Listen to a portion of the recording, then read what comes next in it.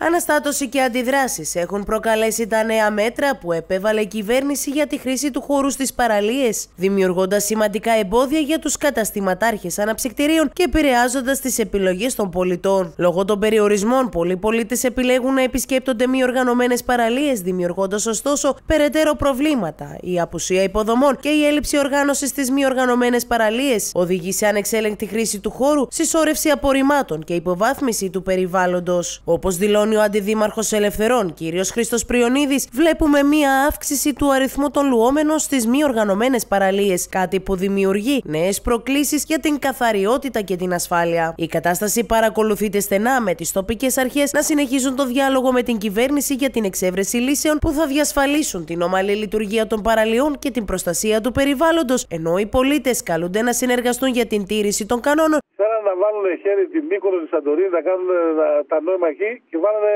χέρι τις επαρχίες γιατί εκεί δεν μπορούν. Αυτό λέω. Λοιπόν, Αυτό εδώ, λέω. Εδώ, εδώ, τουλάχιστον οι επαγγελματίες οι δικοί μας λένε χρεώστε μας τα παραπάνω μέτρα. Εμείς δεν θέλουμε να τα πάρουμε έτσι δωρεάν. Χρεώστε μας και δώστε μας παραπάνω μέτρα να αξιοποιηθεί η κατάσταση. Ναι, ναι. Να αξιοποιηθούν οι παραλίες. Εδώ τώρα να τα λέμε όλα με το όνομά του, γιατί το νόμισμα έχει δύο όψεις. Ε, επειδή εμένα μου αρέσει να τα λέω και αυτό και το θίγω. Ακριβώς. Σε εμάς τώρα, εδώ συμβαίνουν δύο, δύο κοινά που δεν μου αρέσει εμένα προσωπικά τουλάχιστον. Το πρώτο είναι ότι οι ελεύθερες παραλίες και όλοι αυτοί που κάνουν τον μπάνιο στις ελεύθερες παραλίες πάνε εκεί, ψήνουν, τρώνε, ε, κάνουν τον μπάνιο τους, ε, ε, στείλουν τα δίσκυλά τους που είναι παράνομα γιατί απαγορεύεται το κάμπι κτλ. Και, και όταν φεύγουν, αφήνουν τα σακούλα πίσω και Α- φεύγουν. αυτό, Ποιος δεν καθαρίζει αυτό, σακούλα; αυτό πραγματικά είναι μια μεγάλη αλήθεια. Ποιος δεν καθαρίζει τα σακούλα αυτή; Ναι. Για μας δηλαδή δημιουργήθηκαν νέες υποχρεώσεις να κα- περνάμε τώρα τις ελεύθερε παραλίες να καθαρίζουμε και τις ελεύθερε παραλίες. Ενώ τουλάχιστον τα beach bar, τα οργανωμένα beach bar, την ευθύνη καθαριότητα του κα- ο καθένας για το κατάστημά του ήξερε έκανε καθαριότητα και δεν, δεν πηγαίναμε εμείς καθόλου. Ναι. Εντάξει. Το ένα το, το, για μένα το κακό είναι αυτό. Το δεύτερο είναι ότι από τη στιγμή που οι άνθρωποι αυτοί προθυμοποιούνται να πληρώσουν, γιατί ένα κράτος δεν τους τα παίρνει τα λεφτά; ναι. Κάνει έσοδα αυτή τη στιγμή. Σωστά, κάνεις έσοδα. σωστά, Για ποιο σωστά. Λόγο; Σωστά.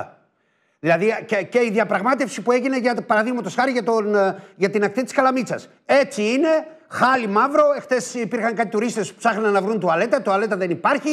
Δηλαδή έτσι δεν κερδίζουμε τίποτα. Του αντίον Αυτό χάνουμε. ακριβώς. Αυτό ακριβώς. Προσέξτε, να μην παρεξηγηθώ.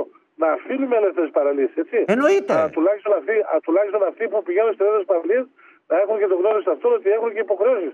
Δεν είναι μόνο να πηγαίνουν να κάνουν το μπάνιο του ελεύθερα, να παίρνουν και τα σκουπίδια του, να φεύγουν, να τα αφήνουν στον κάδο.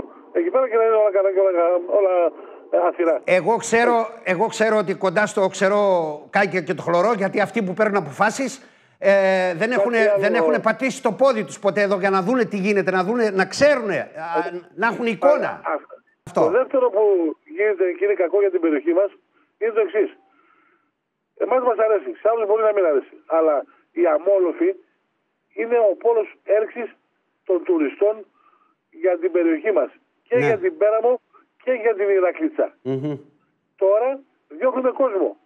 Ναι. Πού πάει ο κόσμο αυτό, Φανταστείτε δηλαδή με μια μικρή αναλογία όταν ένα μαγαζί έχει στημένο χίλια μέτρα ξαπρόστε, ενώ είχε 2.000 μέτρα ή μπορεί να έχει 3.000 μέτρα. Εντάξει. Ναι. Λοιπόν, τώρα πηγαίνει ο κόσμος και φεύγει. Αυτός τι συνεπάγεται, συνεπάγεται ότι χάνονται έσοδα και από τα μαγαζιά εντός των οικισμών.